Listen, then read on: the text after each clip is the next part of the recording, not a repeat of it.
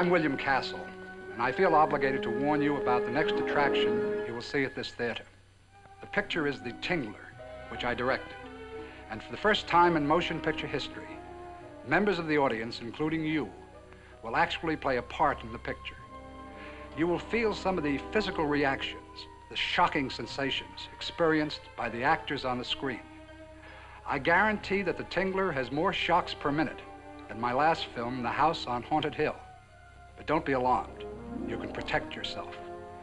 When you see the picture, you will be told, and remember the instruction, how you can guard yourself from attack by the Tingler. And now may I show you a few scenes from the Tingler?